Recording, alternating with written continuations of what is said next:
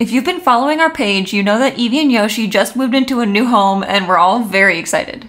Although, not everyone was excited right away, and I've been getting lots of questions asking how Yoshi handled the move, and so I figured I'd just make a whole video talking about how the process went for us. So I brought them with me to the new house in the morning while the movers were moving stuff in, and I'll talk a little bit more about that later. So I had them in our bathroom while things were going on, and Eevee loved it. She was exploring the bathroom, I think she took a nap, it was great. Yoshi went into this green cave and did not come out for like 14 hours. He decided that was his safe place, it smelled like home, it was comfy, and he felt secure there, so he just stayed there the whole day. Eevee, on the other hand, totally undisturbed by this move. She thinks everything new and changing is just great and wonderful, and she had the time of her life. She desperately wanted to leave the bathroom so she could explore the rest of the house too, but they had to stay in here till the movers were done. She was such a nice sister though, always checking on her brother and making sure he was okay. Then, after all the excitement was over, I opened the door and let her out to explore. Hi! Do you like your new house? She's so brave. I love it. You are such a good kitty. Hi. You're such a good girl. I know. There's so many places to go. She's like, where do I start? She then spent a good chunk of time walking all over, examining her new kingdom, and just having such a great time. It was honestly really fun to watch her because she is so brave and nothing makes her scared. She just was full send, this is my new house. After she had done her exploring, we went to go check on Yoshi and he had still had no progress. He also hadn't eaten since the morning, and I could tell he was hungry because he was licking his lips and kind of acting like he wanted food, but he was not interested in his wet food at all. Eevee was though, so we had to keep taking her away from his food because she already had her dinner. She eventually gave up trying to eat his dinner and then stood watch at the door while we all patiently waited for him to come out. Yoshi doesn't normally eat when he's scared or stressed, but usually he's very food motivated, so we thought it might entice him. There were a few times where he did inch out a little bit and we thought he was gonna come out, but it ultimately did not work. So they went through a move recently. A year and a half ago, we actually moved to a different apartment. And that time I had them stay in the old place until everything was moved over and then I moved them to the new place. And that kind of freaked them out. Obviously, any move would freak out cats, but Yoshi really did not handle that move well at all, so I thought maybe let's try this one a different way.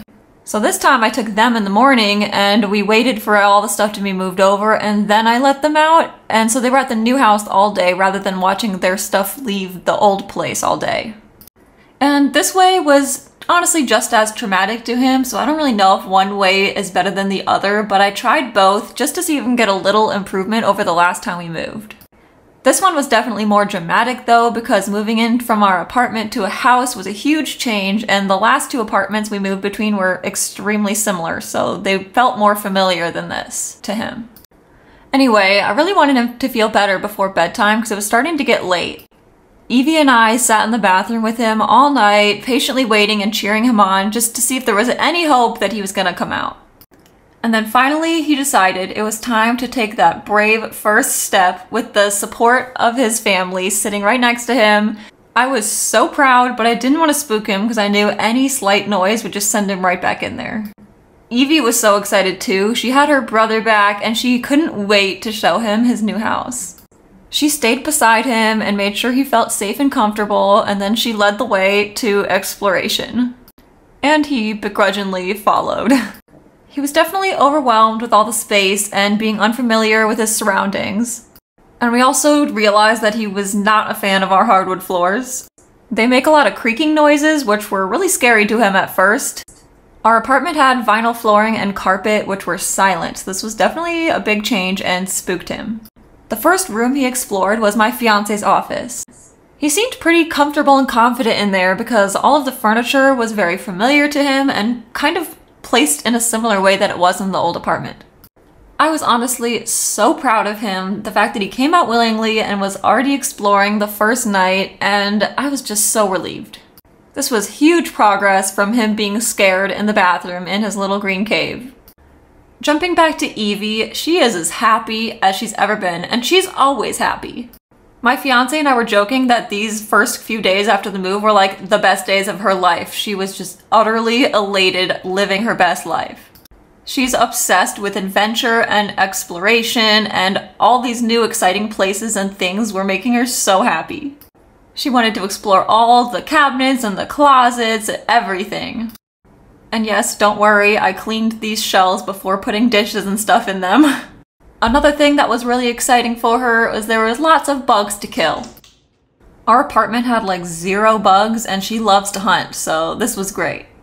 Moving back to Yoshi, as you could probably guess, we had a lot of sleepless nights. The first few nights, this is what it sounded like all through the night, and it just broke my heart.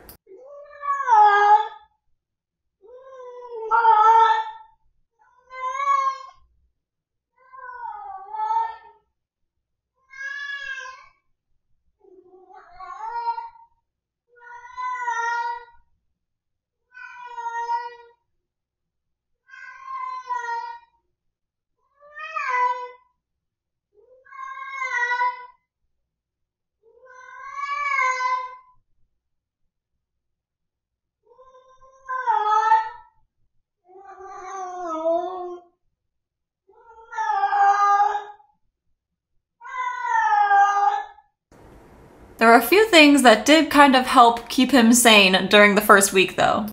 The first is this little rug we had in the hallway. Like I said, he did not like our floors, and this is one of the first rugs we had out, and it just made him so happy.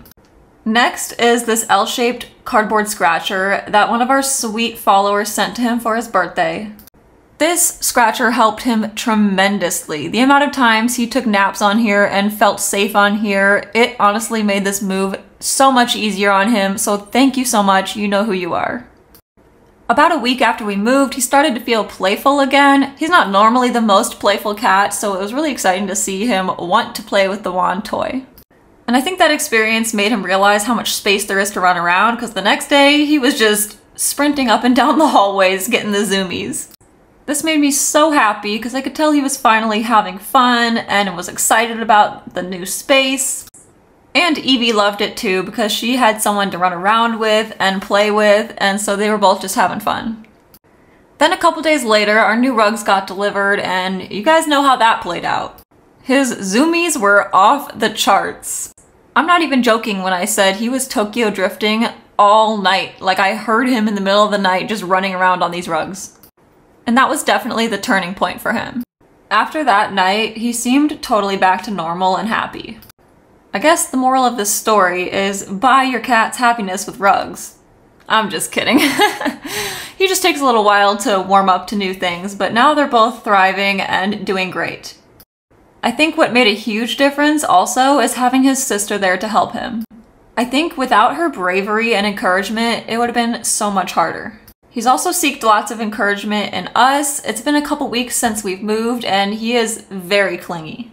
He has not wanted to be alone for more than like three seconds and follows me from room to room, but I wouldn't have it any other way because I'm just so happy that he's doing okay now. I'm incredibly proud of him and I'll happily take all the cuddles he has to offer.